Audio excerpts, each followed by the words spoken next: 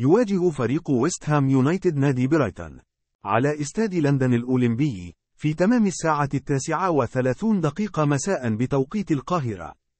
ضمن الجولة العشرين من الدوري الإنجليزي الممتاز 2023 إلى 2024 ويحتل ويست هام يونايتد المركز السادس برصيد 33 نقطة.